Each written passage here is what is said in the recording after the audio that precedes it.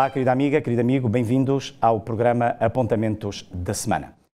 Cada semana nós encontramos-nos consigo para uh, refletirmos uh, sobre uh, sempre um tema específico.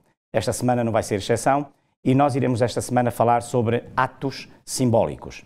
Portanto, falaremos acerca, efetivamente, do oleiro que trabalhava aquela peça de barro, aquele pote que, entretanto, se vai quebrar, Vamos falar sobre, eh, enfim, o cinto de linho, sobre uma série de elementos eh, simbólicos, mas que têm uma aplicação espiritual. Para isso, nós contamos, como sempre, com a presença do nosso convidado, o pastor Ilídio Carvalho. Olá, pastor Ilídio. Cá estamos nós, mais uma semana, para levarmos até àqueles que nos veem e ouvem, efetivamente, algumas informações que, eh, com base na Bíblia, são pertinentes, importantes para a nossa caminhada espiritual. Esta semana temos, como eu disse, um novo tema: atos simbólicos. Portanto, e obviamente, eh, entre estes atos simbólicos há exatamente eh, um que me parece importante, que é logo já, portanto, que é logo o primeiro, do qual eu gostava muito que o pastor Elido pudesse fazer aqui uma abordagem, que é eh, o cerimonial, que está relacionado com o cerimonial do santuário. E até que ponto é que este cerimonial do santuário expressava em símbolos a verdade, portanto, espiritual. Depois, a seguir, obviamente, eh, temos de seguida todos aqueles outros uh, simbolismos, como efetivamente uh, a lição espiritual que Jeremias vai aprender quando ele observa o oleiro a manipular o barro, etc., etc. O pote, que esse mesmo barro é que uh, vai acabar por quebrar, enfim, tudo isso. Pastor Elídio, vamos começar então por aqui. De que modo o cerimonial, cerimonial do santuário expressava em símbolos a verdade espiritual? Este no fundo, é um... o plano da salvação. Exatamente, no fundo é exatamente isso, o plano de salvação. É interessante que o autor das nossas lições, na parte, nesta primeira, primeira abordagem, a parte de domingo desta lição, que atos simbólicos, como disse, eh, começa, curiosamente, e podemos dizer, estamos a falar dentro, dentro do livro de, de Jeremias, e o livro de Jeremias, uh, profeta Jeremias, como também Uh, nos, em relação aos, aos, aos reis, uh, crónicas, ou livro de reis, ou livro de crónicas, que trata sobre o contexto onde se insere e a vida de Jeremias e a qual ele escreve, porque é que escreve, porque é que sofre. Uh, e a razão de ser da sua presença ali. fala aqui Gênesis, no capítulo 4, no verso 3 ao verso 7, que curiosamente fala na, no, na imagem entre o Caim e Abel. Gênesis 4 é Caim e Abel. E, e, diz aqui a verdade em símbolos e porque é que aparece este Caim e Abel, por exemplo. Não é? Ora, o que é que nós vemos aqui?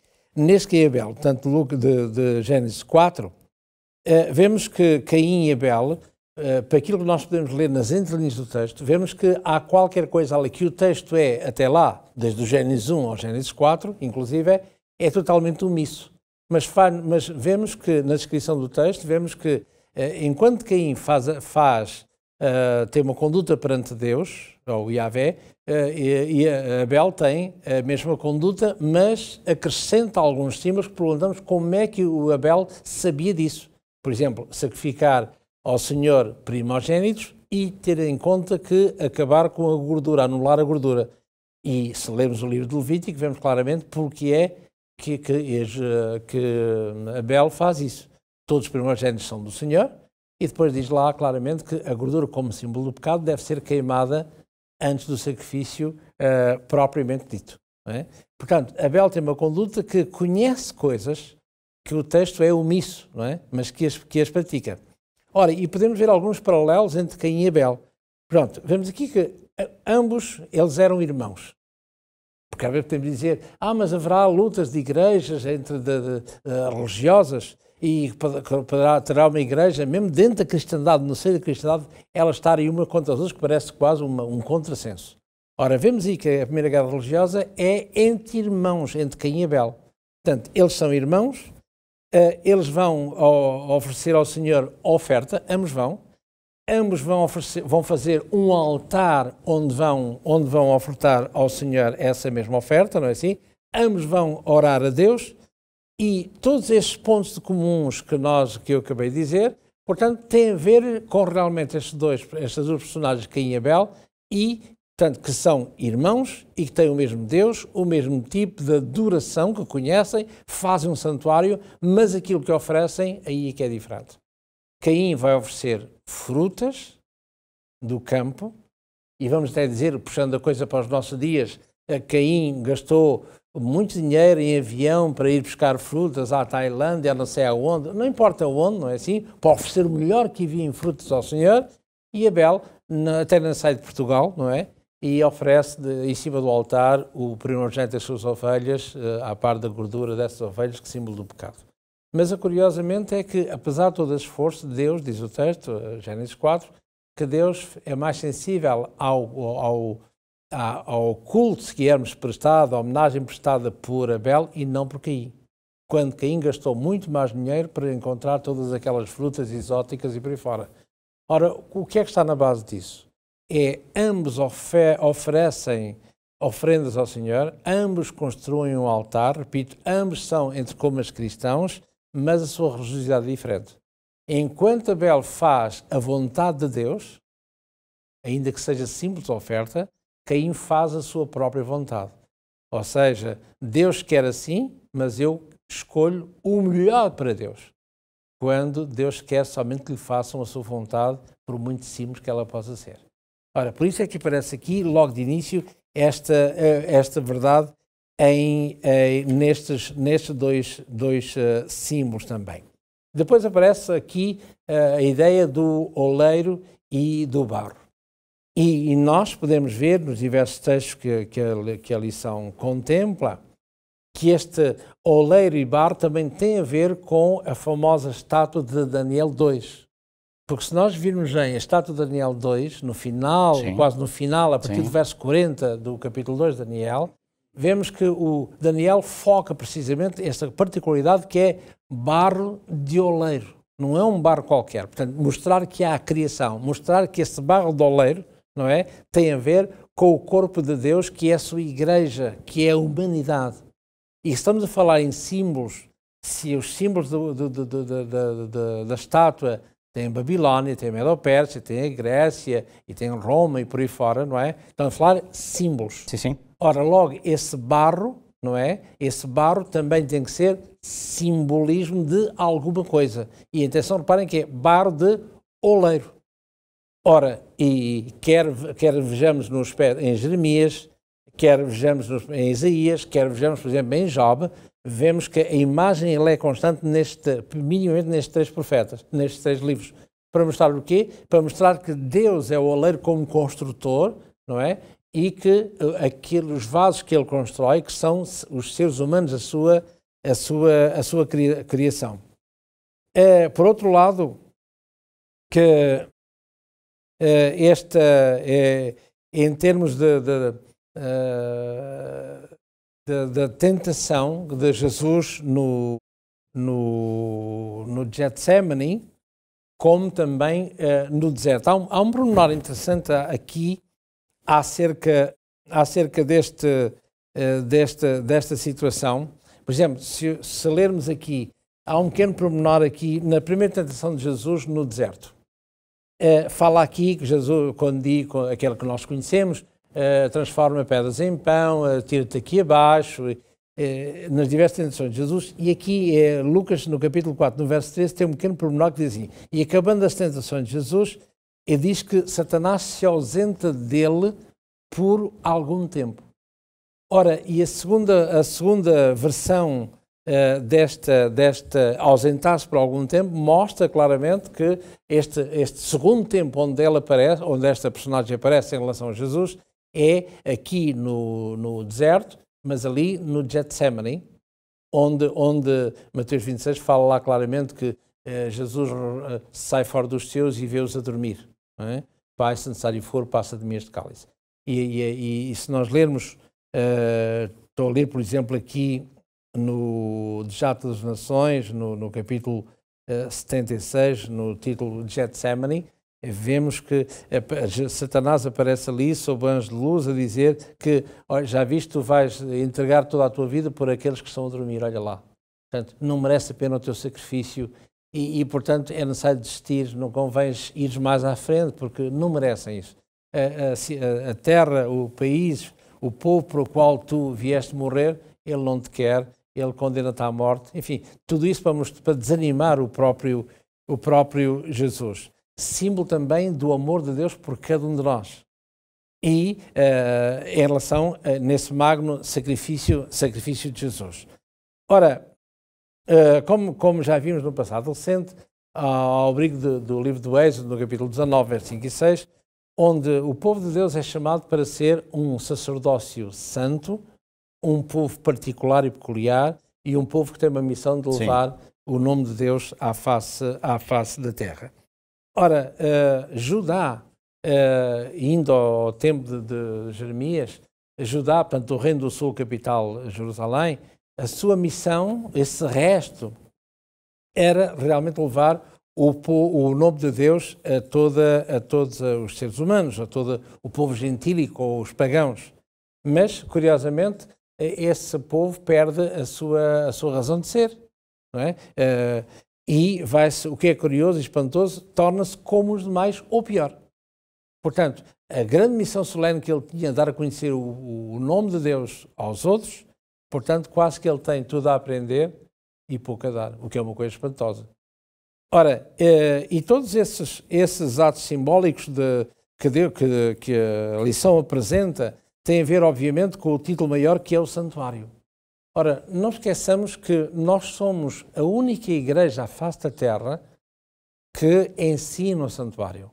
Nós não somos de modo nenhum uma igreja protestante, faz conta, há mil igrejas, não é? Só nos Estados Unidos, por exemplo, há cerca de, eh, de 33 mil igrejas mas, uh, independentemente do número, não importa qual ele seja, vemos que uh, a Igreja Adventista do Sétimo Dia não, não existiu para ser mais uma igreja dita protestante, mas existe, no Apocalipse 12, para, com o chamado profético, isto é, para cumprir e terminar aquilo que a reforma começou, mas não, não terminou. Ora, e nós, como, como adventistas, como, como alguém que, vai, que, que é a Igreja de Deus do resto somos a igreja que ensina exatamente o santuário, porque toda a doutrina da salvação, o plano da salvação, ele está exatamente no santuário, porque há aquele texto que nós, uh, que nós conhecemos, e encontra-se no livro dos Salmos, uh, fala acerca do caminho de Deus, não é? e é um texto tremendamente conhecido, aqui no Salmo, no Salmo 77, no verso 13, por exemplo, o teu caminho, ó Deus, está no santuário. Ora, e o plano da salvação está efetivamente no santuário. Se nós desconhecermos a doutrina do santuário, embora o tópico principal não seja esse, mas se desconhecermos a doutrina do santuário, nós passamos ao lado do plano da salvação. Podemos dizer, ah, existem as festas uh, tradicionais judaicas, uh, judaicas, festas religiosas, que são sete. Já digo de uma forma cronológica, sabemos quando é que começa quem, começa na Páscoa e se termina nos, no, nos tabernáculos mas saber como é que isso funciona, porque é que funciona e como é que Deus, em Cristo Jesus, cumpre o santuário uh, tintim por tintim. Não esqueçamos que Jesus morre numa Páscoa. Na Páscoa. Sim, sim. E o início do calendário religioso começa exatamente na Páscoa. Muito bem. E depois tem as diversas etapas que poderemos ver. Podemos então resumir dizendo que, de facto, na questão simbólica, em todos os símbolos do santuário, nós vemos aqui, efetivamente, o plano da salvação revelado, portanto, ao povo, ao ser humano, ao ser humano. Vemos que, de facto, este oleiro eh, representa Deus, portanto, que Uh, que uh, trabalha uh, efetivamente este seu povo que está ali exatamente com essa paciência, ok, e que é extraordinariamente importante. Mas há aqui ainda uh, duas questões que me parecem importantes. É que a determinada altura, Pastor Ilídio, o pote que é, uh, que é a obra criadora, na verdade, deste oleiro que simbolicamente representa Deus, não é? Que trabalha tão carinhosamente este barro, fazendo dele um pote extraordinário, não é? Com uma missão específica, que disse muito bem, para esse objetivo, não outro, mas para esse objetivo, não é? É-nos dito, efetivamente, que, eh, em Jeremias, que este ato simbólico eh, do oleiro, a determinada altura que resulta num pote, este pote é quebrado, quebra-se, quebra-se. Isto tem um significado.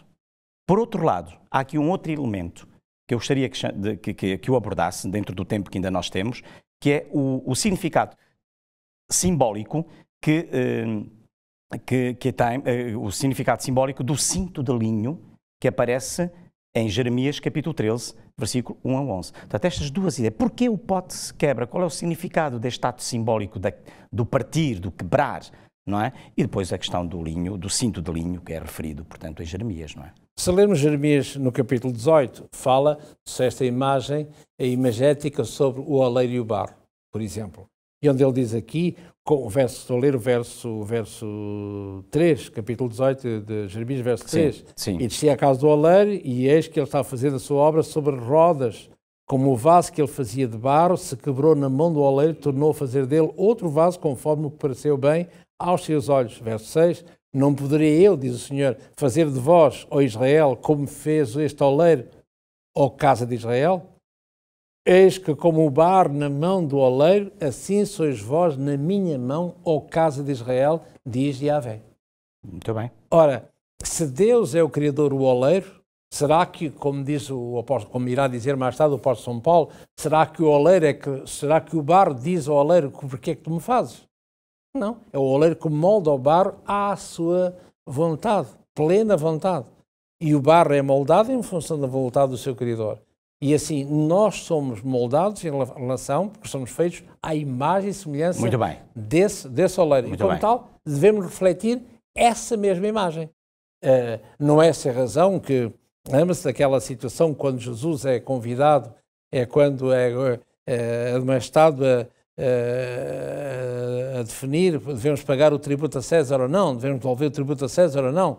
E Jesus vai dizer, tens aí uma, uma, uma, uma, moeda. uma moeda, não é?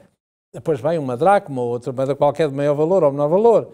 Muito bem, que esta moeda é de César. Está aqui a imagem, as fins, a dizer César, César Augusto, Rex, de, rei de, é? da Judeia, por exemplo. E então, nós, diz ele, dai a César o que é, devolvei a César o que é de César, forma de impostos, porque tem cunhada a imagem do César, e agora também diz uma coisa que não estavam à espera. Diz Jesus: dai a Deus o que é de Deus. Devolvei a Deus o que é de Deus. Nós somos moedas cunhadas com a imagem de Deus. Cunhadas à imagem e semelhança de Deus. Uhum. Entregai-os tais qual, tal qual vocês sois, vós sois, ao vosso oleiro que é, que é Deus. Mas aí já se faz ouvidos mercador, não é? Porque Ele é o meu Senhor, mas faço Obviamente. a minha vontade. Não, é não interessa, claro. Ora, aqui uh, no linho na, na, nesta concepção do linho que é. Portanto, o linho, segundo uh, Levítico, no capítulo 16, no verso 4 e no verso 32 em particular, o sumo sacerdote somente uh, ele vestia as vestes de linho no dia das expiações, ou seja, uma vez no ano, para entrar no lugar santíssimo, uma vez no ano. E, portanto, era esta, estes altos dignitários que tinham exatamente essa, essa, essa, essa vestimenta. O, o, também encontramos essa mesma imagem no, no, livro do profeta Ezequiel, no capítulo 9, e no verso, no verso 2. Encontramos também Daniel, no capítulo 12, no verso 7. E todas elas têm a ver com o sumo sacerdote e na projeção máxima em Cristo Jesus. Ora, esse, esse linho, agora voltando à imagem de, de, à imagem de, de, de Jeremias, quando ele diz, uh, Jeremias 13, no verso 7, quando diz que é necessário que vais ah, usar esse, comprar esse linho e vais depositá-lo num sítio e ao fim de um tempo vais buscar esse, esse mesmo cinto, diz Deus a, a, Jeremias. Ele está a dizer simbolicamente que quando ele foi buscar esse cinto, esse, esse, esse cinto, cinto de linho, que o que era bom e útil antes, ele, eis que agora está apodrecido. E o que ele está a dizer, simbolicamente Deus a, a, ao seu profeta e o seu profeta ao, ao povo, está a dizer que o, o, o cinto como tal era útil, mas depois do cinto estar apodrecido, serve para quê? Para nada. O pote, quando está feito, o vaso é útil. O, o pote, o vaso quebra-se, serve para quê? Rigorosamente para nada. Portanto, para que ele possa servir alguma coisa, tem, tem que ver o filme ao contrário. Tem que o filme voltar de novo a ser rodado. E isso só Deus ou o oleiro é que o pode fazer. E é esse conselho é, e esse convite que Deus faz através do seu profeta Vindo a mim. Vindo a mim, exatamente. Para que sejais novas criaturas. Exatamente, exatamente. Pois é, eh, querida amiga, é assim, o tempo vai passando e nós eh, estamos a caminhar para o final do programa, mas é muito agradável realmente nós podermos ter eh, presente estes conceitos bíblicos e vejam como Deus realmente nos deixa tantos símbolos para nós podermos entender a linguagem divina. Realmente um Deus fantástico, um Deus de amor E não haja dúvida de que, na realidade, este é um convite que Deus faz a cada um de nós. Apesar de sermos potes quebrados, apesar de sermos cintos que, se calhar, eh, estamos uh, envelhecidos, uh, Deus quer voltar a fazer de cada um de nós uma peça nova e uma peça de arte extraordinária. Por isso, o convite dele a cada um de nós durante esta semana. Vinde a mim, vinde que eu faço de cada um de vocês o novo pote eh, porque sou eu o oleiro. E, portanto, se nós nos colocarmos nas mãos daquele que é o nosso oleiro, obviamente que nós seremos simbolicamente potes e cintos extraordinariamente à imagem de Deus. É isso que Deus pretende, é isso que mais o Senhor deseja. Eu tenho, tenho a certeza de que também é essa a sua decisão, não é verdade? Pois bem, obrigado por ter estado connosco. Nós eh, agradecemos eh, a sua preferência e eh, fica a promessa de voltarmos a encontrar-nos para a próxima semana. Até lá, o nosso abraço, bem-haja e que Deus o abençoe.